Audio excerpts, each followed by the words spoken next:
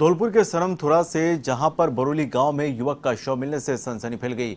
स्थानीय लोगों की सूचना पर पुलिस मौके पर पहुँची, जिसने मौका मुआयना किया। वहीं परिजनों ने हत्या का आरोप लगाते हुए पुलिस से आरोपियों को गिरफ़्तार करने की मांग की है। वहीं पुलिस मामले की जाँच पड़ताल में जुट गई है।